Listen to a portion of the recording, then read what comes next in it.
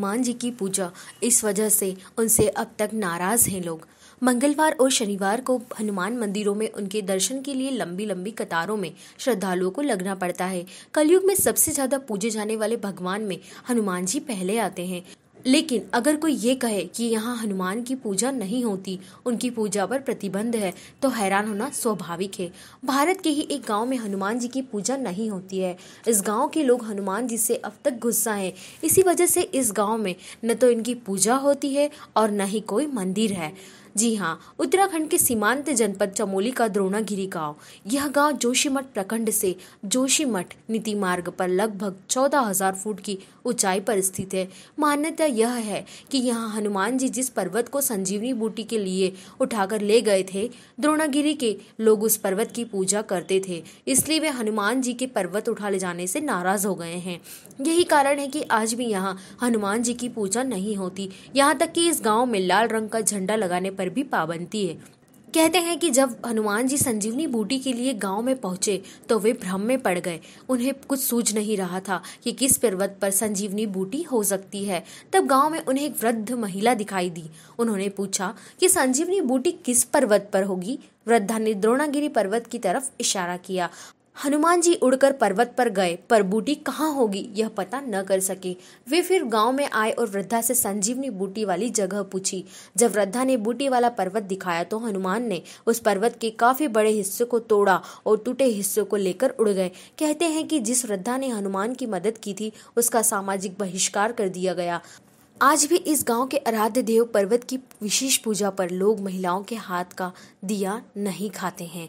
महर्षि वाल्मीकि द्वारा रचित रामायण के अनुसार हनुमान जी पर्वत उठाकर ले जाने का प्रसंग वाल्मीकि रामायण के अनुसार रावण के पुत्र मेघनाथ ने ब्रह्मास्त्र चलाकर श्री राम व लक्ष्मण सहित समूची वानर सेना को घायल कर दिया। अत्यधिक घायल होने के कारण जब श्रीराम व लक्ष्मण बेहोश हो गए तो मेघनाथ प्रसन्न होकर वहाँ से चला गया। उस ब्रह्मास्त्र ने दिन के चार भाग व्यतीत होते होते सुनसठ करोड़ वानरों को घायल कर दिया था। हनुमान जी विभीषण आदि कुछ अन्य वीर ही उस ब्रह्मास्त्र के प्रभाव से बच पाए थे। जब हनुमान जी घायल जामवंत के पास पहुँचे तो उन्होंने कहा, इस समय केवल तुम ही श्री राम, लक्ष्मण और वानर सेना की रक्षा कर सकते हो। तुम शीघ्र ही हिमालय पर्वत पर जाओ और वहाँ से औषधियाँ लेकर आओ, जिससे कि श्री राम और लक्ष्मण व वानर सेना पुनः स्वस्थ हो जाए। उन्होंने आगे कहा कि हिमालय पहुंचकर तुम्हें ऋषभ तथा कैलाश पर्वत दिखाई देंगे। उन दोनों के बीच में औषधियों का एक पर्वत है जो बहुत चमकीला है। वहाँ तुम्हें चार औषधियाँ दिखाई देगी, जिससे सभी दिशाएँ प्रकाशित रहती है। उनके नाम मृत संजीवनी विशल्य करनी स्वर्ण करनी और संधानी है। हनुमान, तुम तुरंत उन औषधियों को लेकर जाओ, जिससे कि श्री राम लक्ष्मण व वानर सेना पुनः स्वस्थ हो जाए। जामवंत की बात सुनकर हनुमान जी तुरंत आकाश मार्ग से औषधिया लेने उड़ चले। कुछ ही समय में हनुमान जी हिमालय पर्वत पर जा पहुँचे। वहाँ उन्होंने अनेक महान ऋषियों के आश्रम देखे। हिमालय पहुंचकर हनुमान जी ने कैलाश व ऋषभ पर्वत के दर्शन भी किए। इसके बाद उनकी दृष्टि उस पर्वत पर पड़ी, जिस पर अनेक औषधियाँ चमक रही थी। हनुमान जी उस पर्वत पर चढ़ गए और औषधियों की खोज करने लगे। उस पर्वत पर निवास करने वाली संपूर्ण महाऔषधियाँ यह जानकर कि कोई हमें लेने आया है, तत्काल अदृश्य हो गई।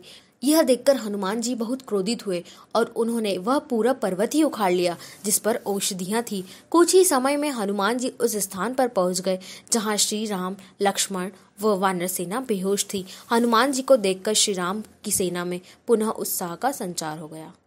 नमस्कार दोस्तों, अगर आपने अभी तक हमारे चैनल को सब्सक्राइब नहीं किया है तो अभी सब्सक्राइब करें और साइड में बेल आइकन को ज़रूर दबाएँ, जिससे घमासान से जुड़ी हर ताज़ा अपडेट्स आप तक सबसे पहले पहुँचें।